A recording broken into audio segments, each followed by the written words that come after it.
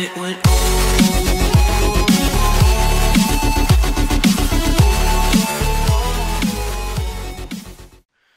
und herzlich willkommen zu einem neuen Plugin-Review-Tutorial.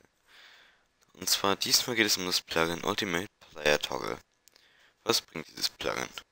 Ultimate Player Toggle ermöglicht es, ähm, ja, die Sichtbarkeit anderer Spieler zu verwalten. Das ist sehr praktisch zum Beispiel für Hub-Server und Lobby-Server, wo man dann einfach Rechtsklick auf das Item macht und dann verschwinden alle Spieler. Und ähm, ja, das Besondere an diesem Plugin ist, dass wirklich alles, und wenn ich alles sage, ist auch alles einstellbar ist.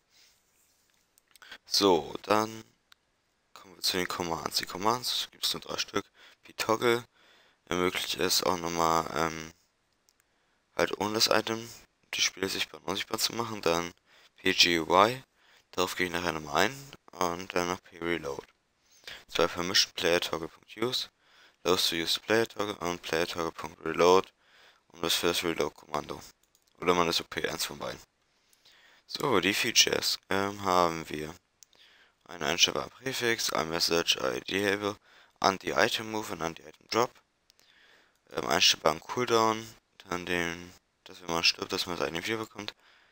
Äh, ja, alles extra und ein Custom Slot. Okay, hier ist die IP.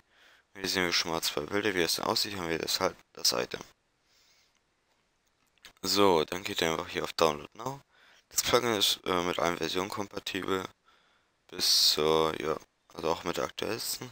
So, wenn ihr es runtergeladen habt, dann zieht ihr es auf euren Desktop. Ich habe das jetzt ja auch schon gemacht, das ist aktuell die Version 2.7. Und unser Testserver. Ich habe aktuell den Testserver einmal hier auf die SpyGuard 1.8.6 geupdatet. Es gibt auch schon die 1.8.7, aber die nutze ich hierfür nicht. So, dann ziehen wir die Player Toggle Datei da rein. Ist hier drin, ich habe hier sonst auch nichts aus dem Matrix Ordner, aber das ist recht egal. Und starten den Server. Ja. So, jetzt sind wir schon. Es ist aktiviert. Dann können wir auch gleich wieder stoppen. Dann gehen wir in den Plugins-Ordner und jetzt haben wir schon Player Toggle. So, in die Config. Und ja. Das sind alles Dateien. So. Die Player Toggle. Hier haben wir den Custom Prefix. Da können wir irgendwas reinschreiben. Ich, ich weiß jetzt nicht was. Äh, Player Visibility. Spielersichtbarkeit. So.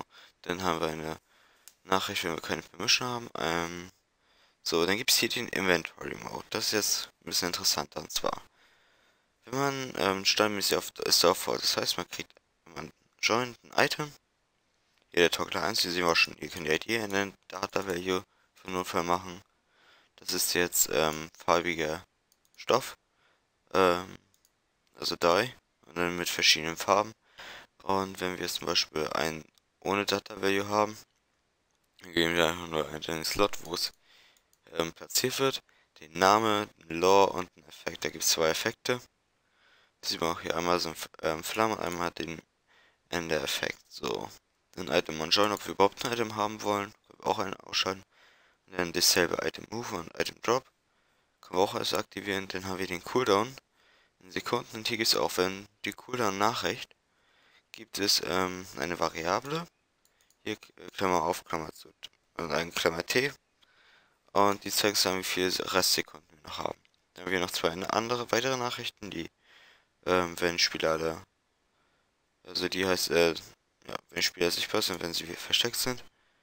Okay, die beiden Nachrichten können Sie nicht interessieren, das ist einfach nur, wenn, wenn sie schon versteckt sind, wenn sie nur sichtbar sind.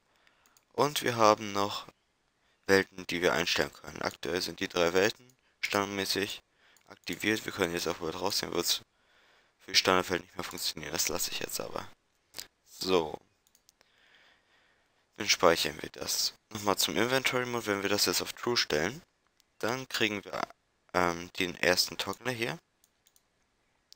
Und dann öffnet sich, wenn wir rechtsklicken, kriegen wir nicht den zweiten, sondern es öffnet sich ein Inventar. Da sehen wir auch schon Inventory Title, können wir auch einstellen.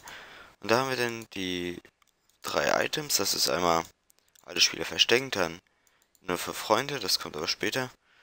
Das äh, funktioniert aktuell noch nicht, da es ein ja, wahrscheinlich zukünftiges ist. Feature ist. Und das dritte Item, ähm, alle Spiele anzeigen. Und dazwischen den Lückenfüller können wir auch noch einstellen. Und ja, ich werde es jetzt aber nicht machen, sondern mich so lassen. Jetzt haben wir den Namen geändert, starten Server wieder.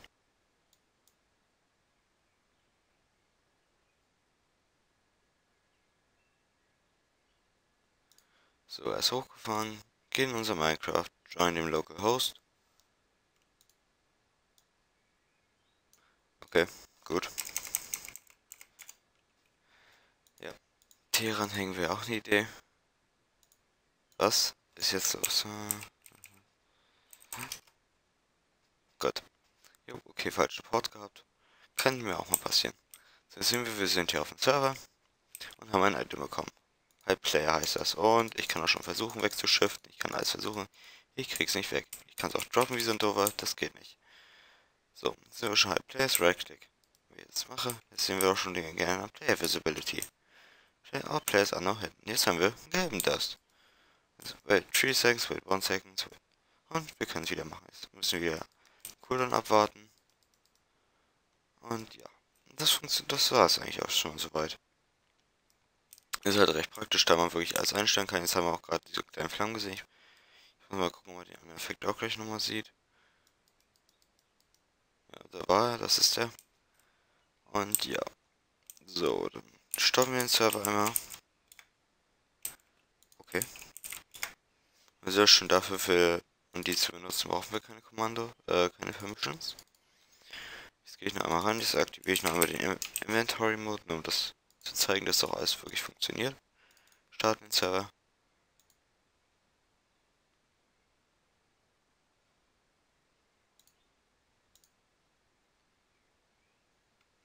So, und jetzt sehen wir High Players haben wir jetzt hier.